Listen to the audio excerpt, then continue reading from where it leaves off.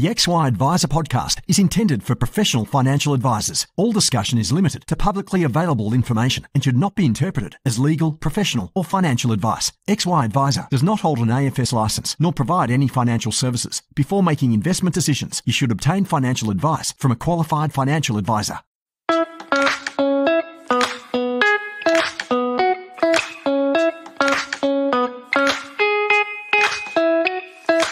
18, Ben Nash here. I'm one of the co-founders at XY Adviser and founder of the rapidly growing Pivot Wealth, which is my business baby I started from scratch about eight years ago, and I've since scaled up to become one of Australia's better known financial advice companies for high income accumulators. You can join me every Tuesday as I have the pleasure of furthering my own knowledge by interviewing some of the best people in our industry and beyond to improve every part of what we do with our advice process. We're currently hiring financial advisors and associates, so if our approach resonates, you can learn more at pivotwealth.com.au forward slash careers. Perpetual is a dynamic, active manager offering an extensive range of specialist investment capabilities, including Australian and global equities, credit, fixed income, multi-asset, as well as environmental, social and governance, designed to help meet the needs of clients across Australia and New Zealand. Underpinned by our long-standing and market-leading Australian equities capability, Perpetual also offers an extensive contemporary range of funds. As one of Australia's longest serving and most trusted investment managers, our long-standing commitment is to deliver superior outcomes over the long term to clients. Hey guys, Ben Nash from the XY Adviser team, and uh, today I'm pumped to be here with Steve Nielsen. Steve and I uh, went on tour with the with the AFA on their roadshow. What seems like a lifetime ago, uh, off the back of him taking out their Excellence in Education Award, and um, obviously I picked up a few tips on he, off him on the way because I managed to take it out myself a, a few years later. Um, but uh, Steve runs a business Ascent Wealth Management um, based out of Bris Vegas. Uh, is a super guru when it comes to technical stuff. But um, today I'm more keen to unpack a bit about the the journey around his business and the things that he's focused on today. Steve, thanks for joining us, mate. No worries, Ben. Good to be here. It's uh, it's been a little while. It has been. It has been. It's uh, the old COVID spanner. It means uh, less less Sydney trips for you, less Brisbane trips for me. So it's uh, it's good to be chatting. And um, your your business has been going for you know a bit over 14 years, so uh, clearly some serious uh, long longevity there. So I'm keen to talk a bit about that that journey, and um, maybe that's a, a good place to start. If you could just unpack how you've ended up where you are today. No worries at all, Ben. Um, I guess really uh, I'd always been well back from the, the 90s was when I first got into advice in a salaried role uh, back in the old days of uh, Suncorp financial planning. And uh, sort of learnt my learnt my skills as a salaried advisor and then moved into sort of the channel management side looking after a team of advisors uh, in Brisbane. And you know within an organization like Suncorp there were other opportunities to sort of develop uh, skills.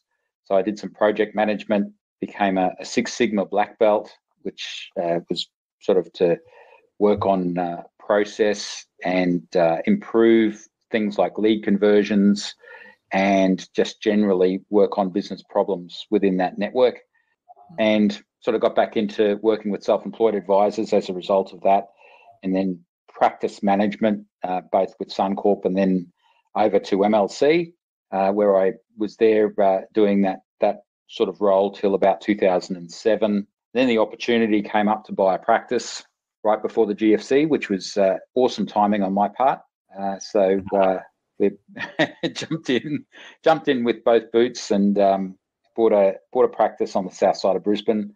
I was a, I was uh, attracted to this practice because uh, it actually had been around at that stage for about 25 years. Um, so now we're close to 40 years of of being around with sort of up to three generations of family groups, uh, which you know we're still advising. You know, some of the mums and dads, their kids, and now their kids, um, which has sort of led to the way we've built our business and developed our skills around being really holistic and looking at all different manner of advice needs uh, in that client base. So it's been a it's been a journey, and obviously, it's not only what's been going on within the business and with our in our clients. We've also been impacted by the uh, environment we live in, as we all have over, particularly over the last four or five years, particularly. Absolutely. And uh, yeah, it has been it has been quite a journey. yeah, absolutely. And uh, the rate of change seems to be accelerating, although potentially we've, we've uh, gotten through the the chunky part of it. Although we keep saying that, and then it keeps on coming. So well, I suppose time yeah. will tell. But uh, I did not know that about the the Six Sigma. Um, uh, thing, but it probably makes sense as to how you run such an efficient operation. So I've um, done a little bit of study of some of those lean methodologies as part of the some work with our business coach and uh, yeah, not not fully uh, by the book in terms of Six Sigma stuff, but super effective in, in terms of that approach and just like what's the most important thing, how do you get there, and uh, I think, as you mentioned, with all of the change that's going on, we need to be flexible as we're rolling stuff out to make sure that it fits with you know how the world is um, at at, yeah. at that time. What do your clients? You mentioned three generations, so obviously there's a bit of a spread there. But what is it? What do your typical clients look like, and um, what do you do for them, and what does your team look like? So I guess the sweet spot and it, it's probably something that is is no secret to most advisors is you know the sweet spot are clients that are you know five years older and five years younger in a lot of ways. So for me being in my early 50s it's pre and post retirement um, more pre uh, at this stage but it's really building wealth for people that are starting to free themselves of the shackles of debt uh, and and you know kids are probably not costing as much in in their upkeep and, and are starting to leave home. And just that final run into retirement to make sure that positions are optimized and and we're basically on a good path towards achieving all of those those goals and objectives you know financial and non-financial for uh, for people as they become you know come into retirement. I guess there's some empathy on my part obviously not that I'm retiring anytime soon, but I, I certainly have the impacts that uh, a number of my clients are facing uh, as we sort of enter this stage of life, uh, particularly in that most of us, you know, still have some responsibility uh, for, you know, teenage, late teenage children. And at the same time, we're starting to do more for our parents who are getting into that that elderly uh, frailty mm. sort of generation, and you know, so I guess some of the advice needs that come through are, you know, sitting sort of contingent to that particular group that we do most of our work with. Uh, you know, the um, the starting off the the kids uh, as they're starting to uh, make their way in the world, and then at the same time, um, I I myself have uh, built some expertise in aged care uh, having advised a number of our clients' parents in you know, on their transition to, you know, the retirement village world, or even at the later stages into a, an aged care facility. Um, so, you know, Gavin, Gavin in the business will sort of be uh, more involved in the um, starting that starting the journey and, and building uh, building a, a, a, future as far as wealth management uh, goes for the kids as they're starting in their working life, and I'm probably more at the other end uh, at the aged care piece, uh, you know, becoming more and more a focus um, of the other stuff we do. Well, I can speak from personal experience there that I know that you're the guru of that stuff, and for me, that's just uh, so complicated that it's it's been yeah. in a too hard basket for for some time, and it's not the sort of thing that you want to you know get wrong or or get mixed up with you only really get one crack at it. So yeah re- really critical. How did you just on that one how did you go about building that knowledge? Uh, it was a fair bit of uh, study and research. Um, you know I, I worked alongside the aged care steps uh, group uh, Louise Biti um, and, and her business uh, to get some some knowledge. And my licensee also uh, had a, a, fair bit of support in in that area as well. It's it's quite sad, really, though, because I'm I went and had a look at a local aged care facility that's just opening in our local neighbourhood on the weekend. Um, I, I, like to go and have a look where our clients might end up might end up looking for places. And um, we we were touring around this facility, and they took us to this um, this double room, and they've got a few of these double rooms in the in the building, and they um, you know so mum and dad can move in there together and everybody's saying, "Oh, it's a lovely room. It's a big, it's a big studio room with a sitting area and all of that sort of thing." And quite a quite a different thing to what aged care facilities have been in the past. And all I could think about was, "Oh, mum and dad going in together. That'd be two um, refundable accommodation deposits." I only just think of the money, you know. So um, I've been uh, I've been sort of talking about this far too much if, if, that's what I'm thinking of. With this beautiful facility, and I'm thinking about the money. Yeah. Well, look, it's uh, it's not everything, but it's not nothing either. So um, absolutely. Yeah. yeah. Um, Steve, your business, as I said, you've been you've been at it in your business for 14 years, and you mentioned there's been 25 uh, years of history prior to that. Yeah. What have been the the big sort of shifts uh, over that over the time that you've been involved in in the business, and how did you tackle bringing the business sort of into the future? I, I guess when I when I jumped out of uh, employment and and bought the business, the concepts of of professionalism and increasing education standards and and um, you know how we actually charged for our services were sort of starting to be whispered about, you know, like are commissions appropriate? You know, are entry fee products, you know, where we see ourselves going in the future?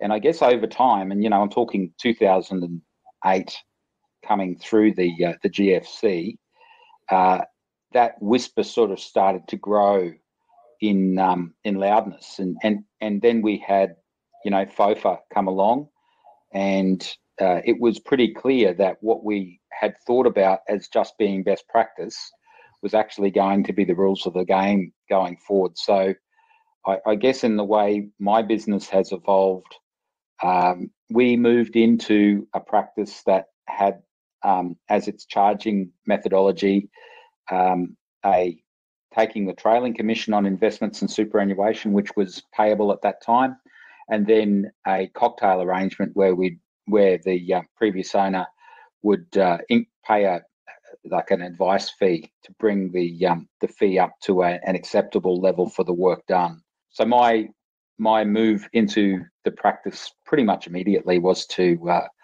to start by rebating trailing commission and just charging a fee based on the um, the time taken to prepare and deliver the advice as well as its value to um, better reflect the work that we did.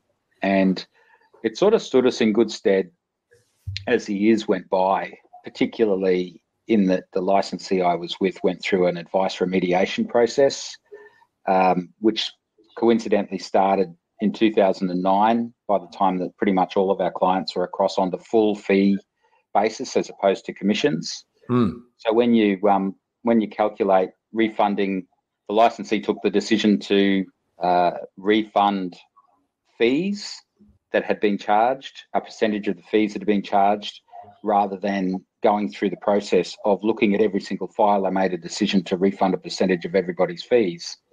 So we maximised the outcome for our clients because we rebated trailing commission and converted them all to fees. And um, consequently, their outcome when that refund went through was significantly better than what it otherwise would have been. So Right. Um, nice. so it was a nice byproduct, but it was also the right thing to do by the clients at the time, set us up well for FOFA. And I guess as time has gone by, the natural extension of FOFA, I guess, has been the uh, the code of ethics uh, developing uh, around some of the key concepts that come out of FOFA. Mm-hmm. Um, and I think it's uh, it's you know unfortunately it's the, the challenge that we have as financial planners today is not necessarily that a code of ethics is a bad thing. It's just that there isn't tangible measures on which to manage or assess performance, uh, we, we basically are, you know, doing right by clients. But if someone else's perception is not quite the same as yours, there mm. leads to be some some dis- discrepancy there, and that's, I guess, the confusion that um, that I guess everybody's facing. But um, all in all, uh, the practice has remained um, probably as a result of licensees always striving to be at that higher level, just to make sure that they were right right above any line that was what was drawn re- on the regulation side of things. Um, we ourselves, as advisors in that network, have have been sort of following that, which has stood us in pretty good stead, I think. And you mentioned you mentioned when we were chatting just before about the the quality of advice review and what you've just mentioned there about you know ethics and the the the ambiguity around the interpretation of those rules. I know that yeah. you you um, love all of that sort of you know super detail um, stuff and and uh, get you know get pretty involved in the advice you know industry more broadly. What's your take on on where things are headed from here? I think we got a good opportunity. Uh, there have been, and I, you know, probably a bit boring, in that I've read a few submissions and I've made, you know, made contributions to a few a few submissions as well for, um, you know, into professional associations that I'm I'm a part of. Uh, but I think we have a good opportunity to sort of inform the uh, the regulators or the um, the regulators through this review that you know of the roadblocks. I think I guess to providing uh, good quality advice that's in the best interests of clients.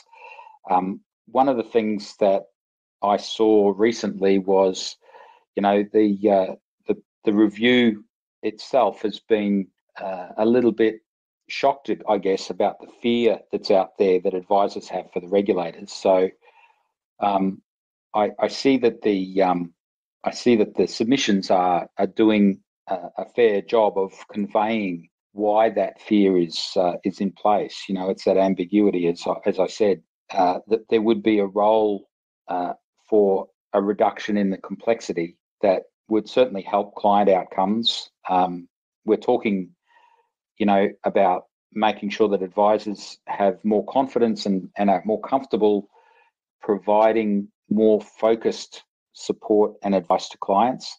And it doesn't necessarily mean that we're adding 20 pages to a statement of advice. We might take 20 pages off a statement of advice and be able to convey, convey a clearer message uh, and clearer intent, which I think is is ultimately where we're heading. Um, so the quality of advice review, I think, presents us with a great opportunity. I, I just hope uh, that the um, the airplay that it deserves is is continued, and we actually see some tangible change as a result of of those submissions. Well, I think it sounds like from from what I've read that at least ASIC seem to be fairly clear on where like broadly what the issues are when you talk about like the complexity of advice and um, yeah the the the length that, uh, of advice and density relative to our clients you know want or desire or understanding yeah. of um, of that stuff. So yeah, fingers crossed. I'd love I'd love to see a, a shorter SOA with um, streamlining the important things. So as you say, that we can be doing the right thing by clients, but um, have it clear and efficient and easy, and sort of bring down some of those costs to serve to make things accessible to to more people. I think some of the tech can help us as well as you you'd be you'd be right across Ben. You know, like there's some there's some solutions there where um, advice can be delivered in in presentation format, if you like, and if it's it's if it's delivered sort of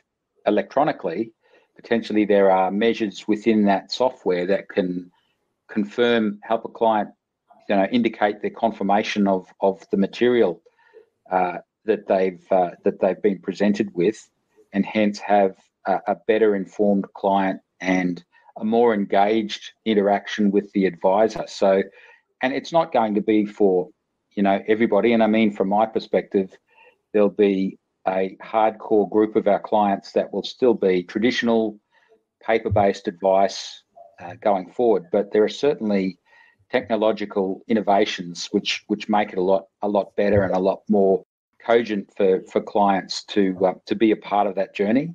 So here's hoping. yeah, we'll, we'll, keep both of our fingers crossed on on that one. Yeah. Steve, what you you mentioned there some of the things that have shifted in your business. What are the things that haven't changed for you?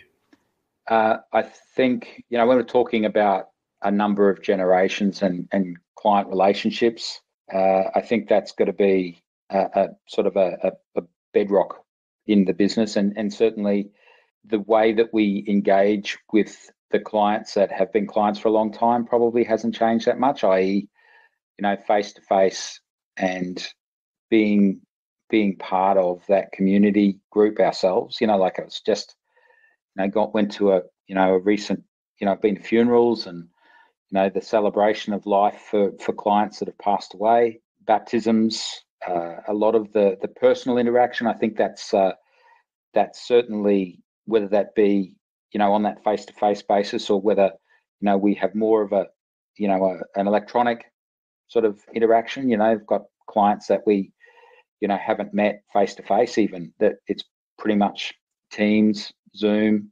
DocuSign, all of the the technological means. So it's I think the thing that hasn't changed mainly in the business is that we continue to meet clients where they live in a lot of ways, whether that be electronically or or face to face in those groups.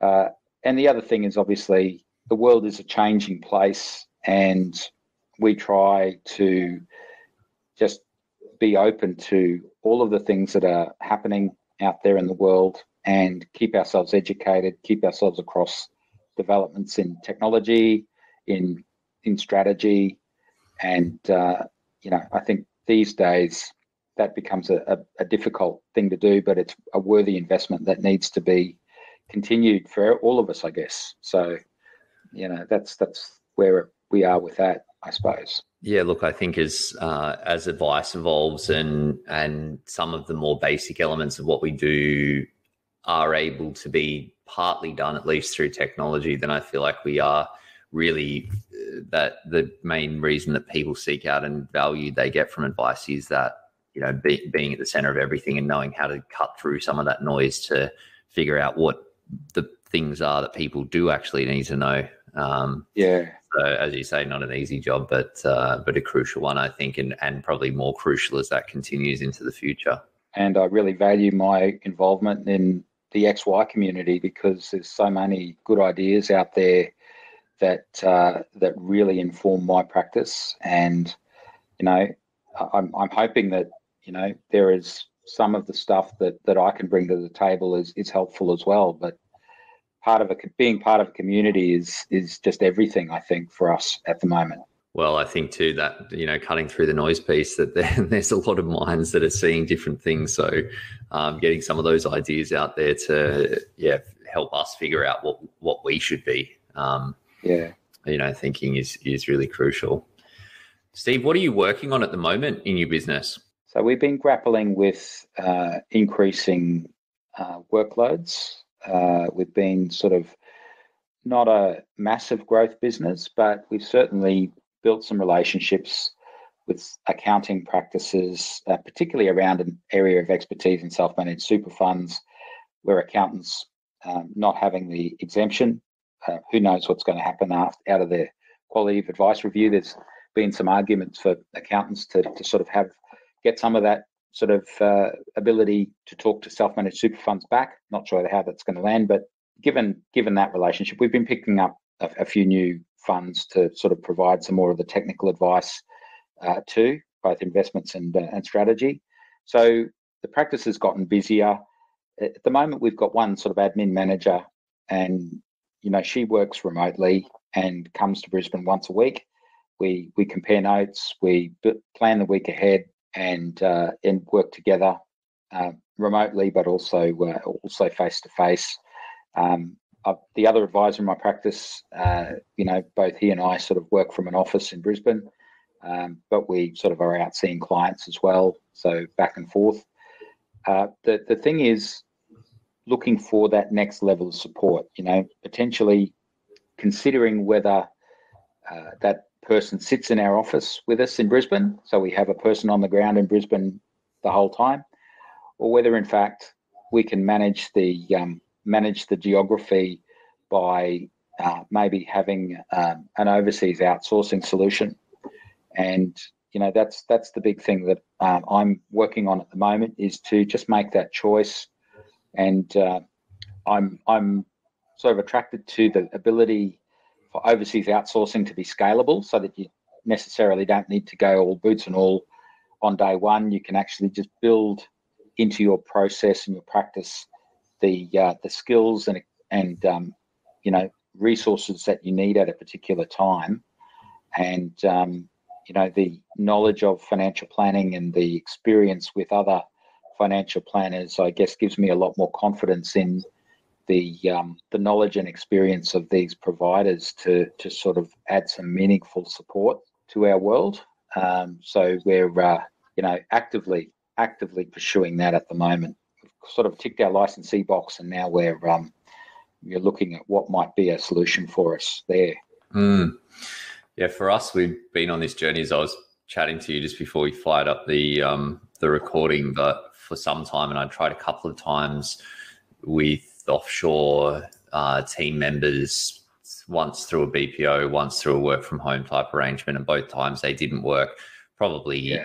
a large part because of how we sort of you know onboarded them and the work, um, but also partly because of the the individuals that we chose and the roles that we were looking at at that time. But for us, yeah. we've had, had a great experience for the last three years with with offshoring. Like like I think any team member that there uh, or you know any team that there are challenges with that and um, things that you need to do and learnings that you you need to have um, mm.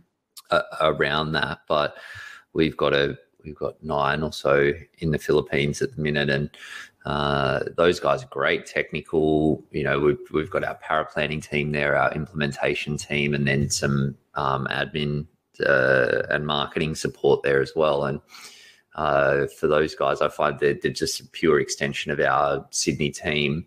Um, yeah.